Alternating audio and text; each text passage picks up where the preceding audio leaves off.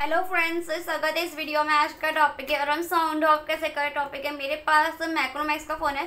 मैक्रोमैक्स के फ़ोन में कैसे और हम साउंड ऑफ़ करेंगे बताने वाली इस वीडियो में। और आप प्लीज़ मेरे चैनल को सब्सक्राइब कर लीजिएगा और मेरे वीडियो को लाइक और शेयर कर लीजिएगा। वीडियो स्टार्ट करते हैं फ्रेंड्स सबसे पहले आपको सेटिंग के ऑप्शन में क्लिक करना है एंड यहाँ पर आपको साउंड पे क्लिक कर लेना है। इसके बाद आपको एडवांस पे क्लिक कर देना है and alarm sound default alarm sound पे आपको क्लिक करना है। फिर यहाँ पे आपको नाउन पे क्लिक कर देना ओके पे क्लिक कर देंगे। ओके पे क्लिक करने के बाद आपका जो अलार्म साउंड है चेंज हो जाएगा। फ्रेंड्स आई होप आपको अलार्म साउंड चेंज करना आ गया होगा। तो प्लीज़ मेरे चैनल को आप सब्सक्राइब कर लीजिएगा और मेरे वीडियो को लाइक और शेयर कर लीजिएगा फ्रेंड्स मिलते हैं नेक्स्ट वीडियो में। तब तक के लिए नमस्कार।